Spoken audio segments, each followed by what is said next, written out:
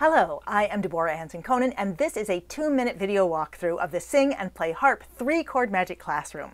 Once you've logged into the classroom, you have your welcome video right here. Open this toggle to read how the series works. Then you get your basic tech talk and how to download the audio files. Here, you'll get the basic handouts for the class. You get a chart to help you set your levers and pedals for any key, a grid for learning the three-chord magic patterns, which will make sense to you after you take the class, I promise, and a lyric and chord sheet for all the tunes we use in the class. Next, here are the three basic training videos. Everything you need to know is in these three play-along videos. You can go through them all in just one afternoon or evening, or you can space them out over a couple of days. This additional video tells you how to shift the songs from key to key so you can sing them in a key that works best for your voice.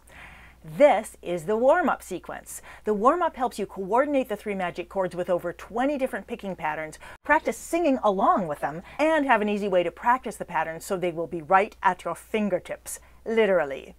You download the PDF of the warm-ups here, and this little video tells you how to coordinate your singing with them.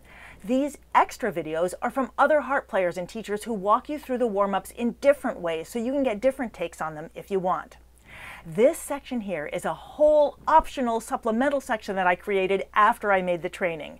This section gives you a separate video for each of the tunes in the class and shows you how to play and sing each song using the basic three-chord magic system and for more advanced players, it goes on to show you how to expand each tune to more complex chords, jazzier harmonies, and patterns, other patterns if you want to do that. But you don't have to.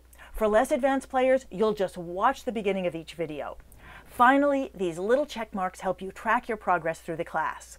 Once you join Three Chord Magic, you will be singing and playing within the first 30 minutes, and then you get to go as far as you want with it. It is all here waiting for you.